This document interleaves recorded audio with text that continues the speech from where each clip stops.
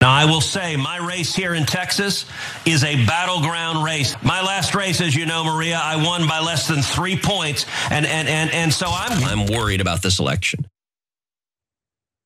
Ted Cruz is worried about this election. And normally, when politicians say that, what they're saying is, give me money.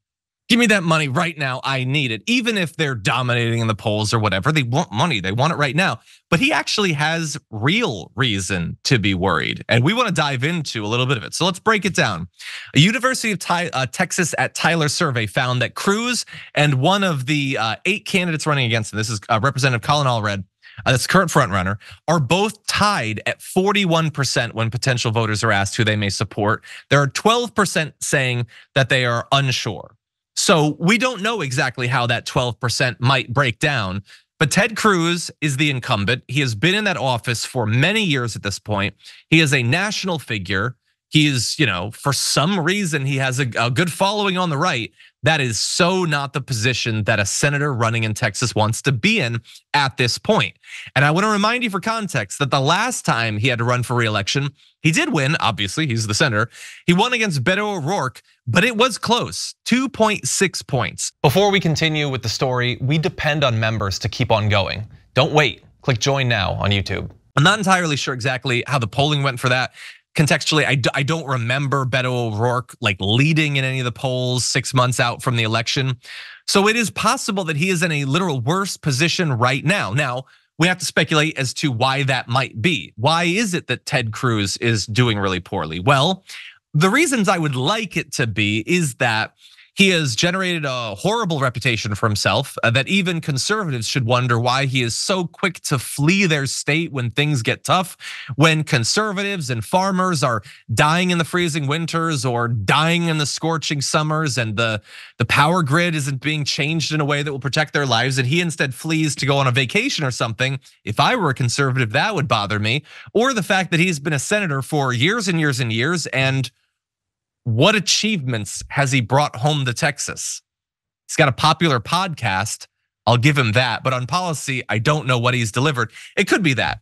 But it could just be, you know, Texas is shifting in a direction that is not as solidly red. Some of the, the, the urban areas of Texas are growing fast.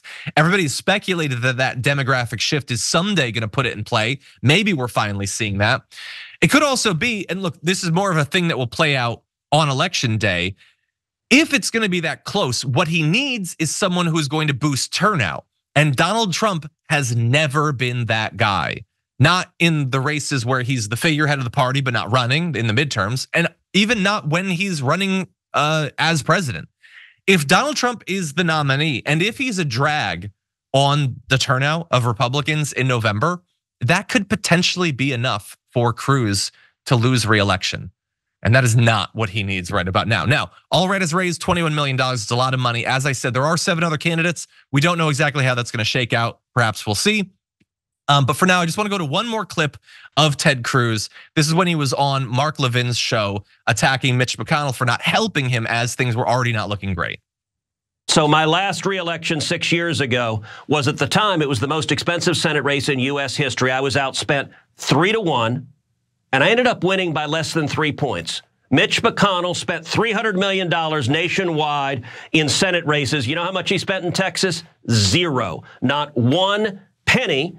I'm right now, as you know, in a very tough reelection race in Texas. The Democrats, Chuck Schumer has made clear I'm his number one target. The Democrats intend to spend over $100 million to defeat me in Texas. We just had a poll last week that showed it as a one point race, and yet we can expect Mitch again not to spend any money to defend me. Maybe Mitch McConnell's not all bad. He's going to leave Ted Cruz out alone, cold in the night to fend for himself, maybe he's not all bad.